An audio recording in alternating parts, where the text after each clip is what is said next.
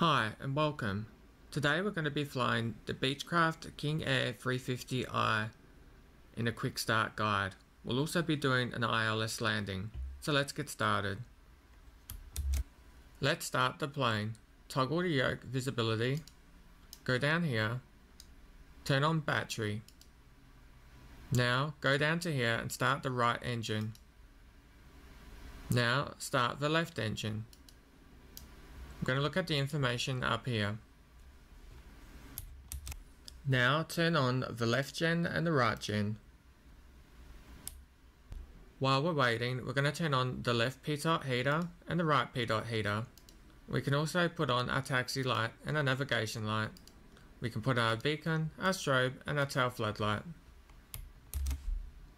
Now look at the ITT. If there is a little white triangle in the ITT in the green zone in both, we can go back down to here and switch the ignition to off and switch the ignition on the left to off. Now turn on the avionics switch. Parking breaker switch is down here. Left click that once. Now you can taxi and you're ready to go. The plane is started. How easy was that? Today we're going to be landing at runway 35 left. We can see at Nogi we need to be at 5,000. At Phobok we need to be at 4,000. At Fitem we need to be at 3,000. At Spur we need to be at 1600. The glide slope today is 3 degrees. We can also see the ILS frequency up here. 110.5 is a touchscreen in this area, we need to be able to click anywhere in here. Let's click click once. It'll bring up this information. We're going to change the CDI source to FMS. Now, to exit out, left click here on the HSI. Go up to the top right, left click on split.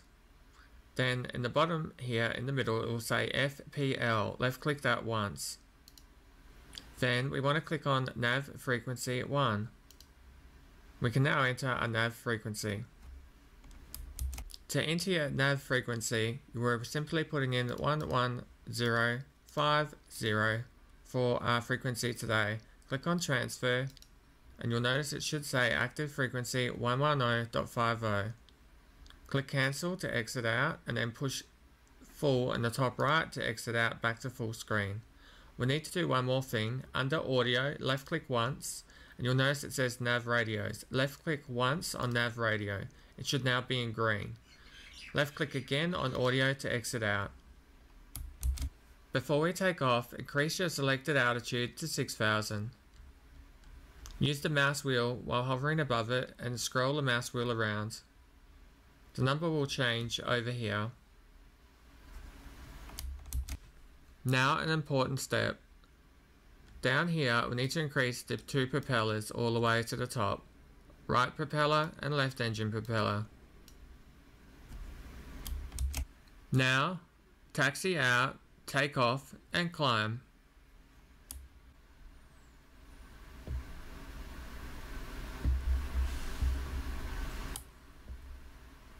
Some of the autopilot buttons. First, we need to click the autopilot this button over here to engage autopilot. Now we need to click on nav mode to turn nav mode on. And then we need to click on the yaw damper. Finally, we need to click on VS over here, turn vertical speed mode on. And then we click down here to increase the vertical speed. You can notice it'll move this little object here and the plane will increase by itself up to 6,000 when it reaches 6,000 altitude, it will go back to altitude hold, and it will do that by itself. Now sit back and enjoy the flight.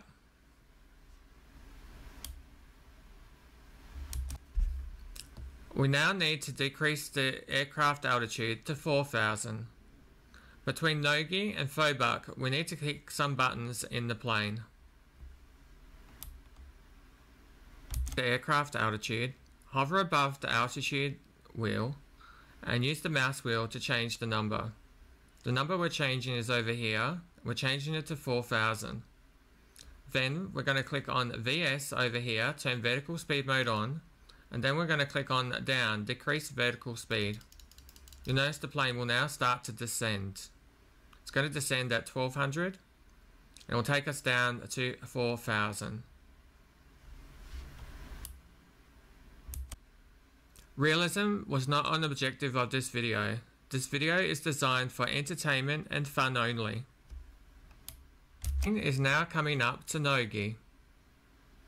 We need to click two buttons in the plane. The first button we have to click is up here, the approach button. Left click once on approach. Then we need to go down to here. We left click once on the HSI and it pops up the options. We want to change the HSI or CDI source here to LOC1. So it will now say in here LOC1 under PFD options and also over here. To exit out, we can simply click back here on the HSI. Do Your flaps and your gear to get ready for landing.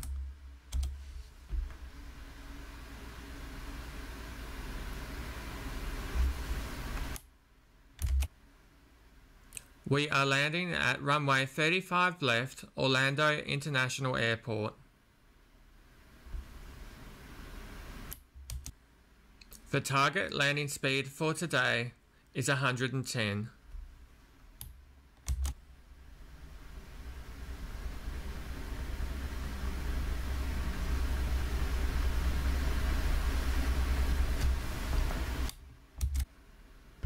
Now we only have to click one button to disable the autopilot and then we can hand fly the plane in to land.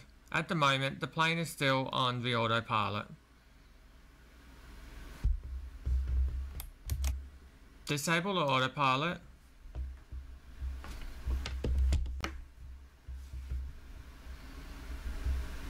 and then flare to land.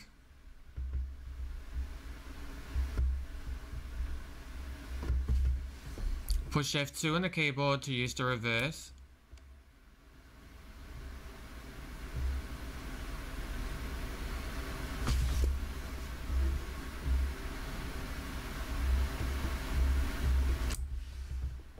And then use the wheel brakes to come to a stop.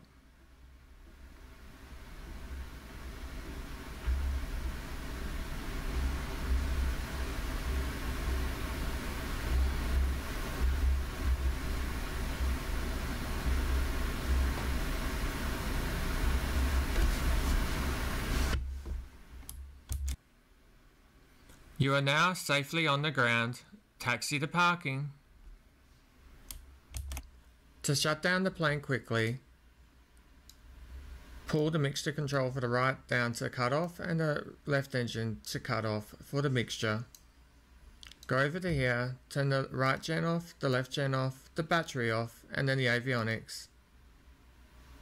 The plane will now be shut down. Excellent work.